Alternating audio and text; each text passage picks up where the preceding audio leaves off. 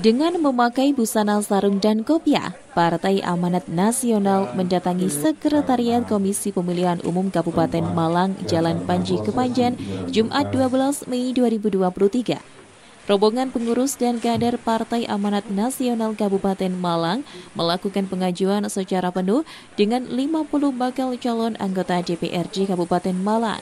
Dalam pengajuan bakal calon di KPU Kabupaten Malang, terdapat hampir 50 persen merupakan calon perempuan. Ketua Dewan Pimpinan Daerah Kabupaten Malang Sutiodo menjelaskan dalam pemilu 2024, partainya mempunyai target tiap dapil bisa meraih satu kursi dengan total tujuh dapil. Partai PAN untuk Kabupaten Malang mendapatkan 50 caleg. 50 caleg, berarti penuh, kuota kursi per dapil penuh. Terisi semua keterwakilan perempuan semuanya sudah lengkap. Hampir di atas 30 persen. Untuk target pak? Target yang uh, target otomatis kita menargetkan per dapil dapat satu kursi nanti untuk DPRD nya untuk caleg perempuannya berapa pak? caleg perempuan hampir 50 persennya.